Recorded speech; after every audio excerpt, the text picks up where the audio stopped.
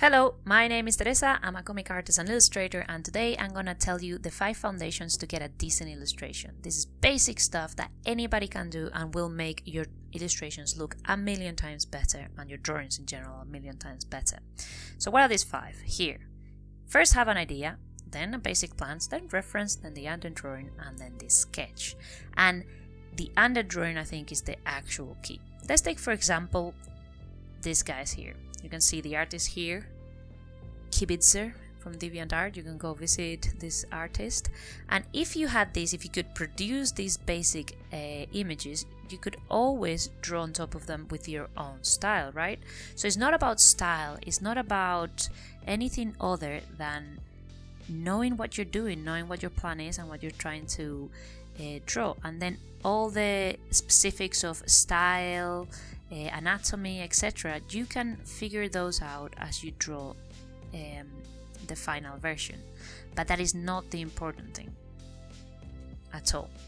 So you see, just with that base, we can probably create something interesting even if we don't know how to draw. Anybody could do it. So, how do you get to these bases?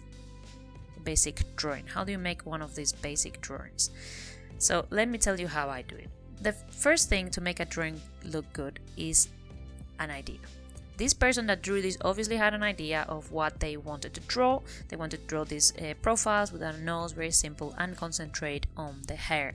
That's the idea, that's the focus, that's why this person could execute this illustration.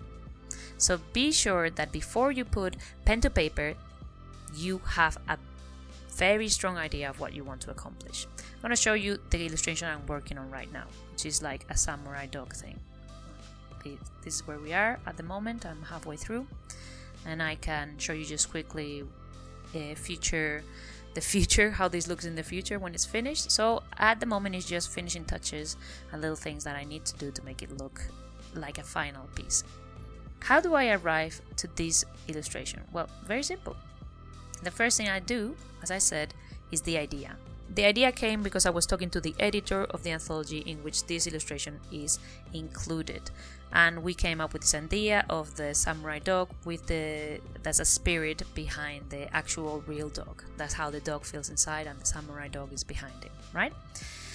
Uh, so that's the concept. That's the story we're telling and that's an important thing that i need to figure out. What am i trying to say with my illustration? What's the story behind my illustration? And even if it's something simple like this you need to have that solid initial idea you can do this by uh, writing down ideas, you can do it uh, by uh, brainstorming with a friend, or you can do a technique that I really like that I learned on a course in Schoolism that is doing mind maps. So I'm going to show you how I do mind maps for more complex illustration. You start with like this basic idea. I want to draw a frog. And why do I want to draw a frog? Because frogs, uh, I want to draw an assassin frog.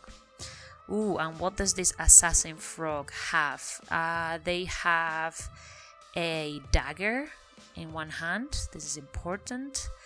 And where are they? Like, where are they? Uh, they the frog uh, the frog is in a tree. The frog is in a tree. Uh, and you know you just go on with this idea what else is is there that is interesting um, uh, they the the facial expression uh, the facial expression is intense. You know you just get this by writing it down and asking you questions. And we're talking about basic questions like where are they? Why are they doing what they're doing? Who is doing the thing? How do they exactly look like? Or how are they to do this thing?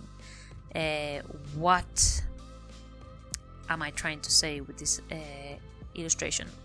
By doing that, you come up with a solid plan.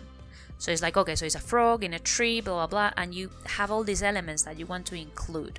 And that's when you jump into um, what I call the the shadows, um, which is this. It's basically I outline shadows and I think about elements that are important. So I knew that the dog had to have a katana I knew that I wanted that. So I put it like, oh, how can I emphasize that katana? So it can be like uh, crossing the the illustration. So just making those decisions in the shadow, um, the shadow uh, thing that I do. I don't know how to call this shadow puppets, shadow figures. I knew that I wanted the katana, and you know, for a while I was considering whether I wanted or not the the cape, the the, the yellow cape that he's wearing. And you know, once I had an idea of more or less what I wanted, I also started playing around with the concept.